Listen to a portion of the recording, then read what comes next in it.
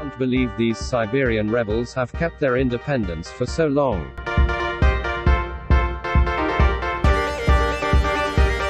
Everybody and welcome back to another video with Germany in Age of Civilization 2 here on the channel. Well, firstly, I would normally say Germany in World War II, but the Cold War is basically gone too, so there is no point. Anyways, enjoy the video. Just to mention, this army will probably never be used again, I am just raising it for ultimatums. I bet you the rest of this world will fall by ultimatums only. So, yes, this episode we're going after Asia. I am gonna leave the Americas for last. Asia is quite messed up, and I really wanna purify that mess, you know what I mean.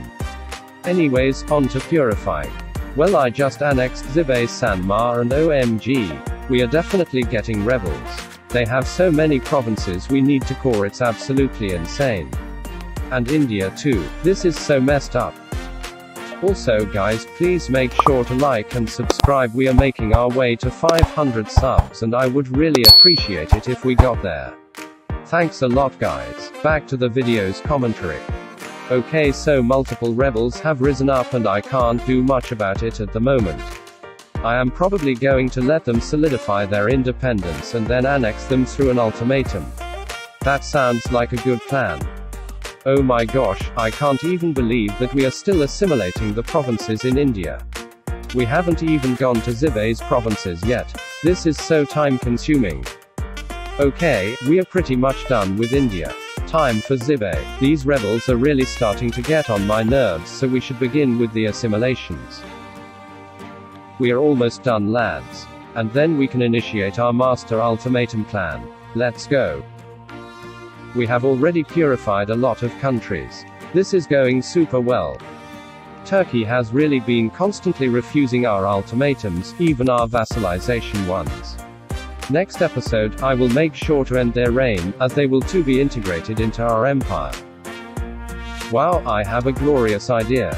What if we annexed Japan? They are, I mean, were our ally until now and we would gain so much land and prestige from doing so. Yeah, let's do this. I can't believe these Siberian rebels have kept their independence for so long. Absolutely unacceptable.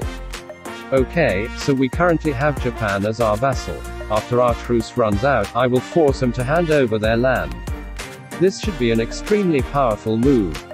I am telling you, in a little bit, we will have Japan. This is actually true. I am not lying at all. Keep watching and you will find out that I am not lying.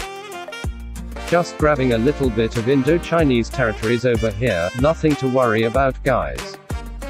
And Japan has been annexed. That was a successful plan. Hopefully, no rebels will pop up since they aren't as huge as India and Xibei were combined. Anyways, as you are currently watching our complete dominance in Asia, I want to thank you for sitting by till the end and watching this video. It was a pleasure to entertain you and hopefully you'll thank me too by liking and subscribing.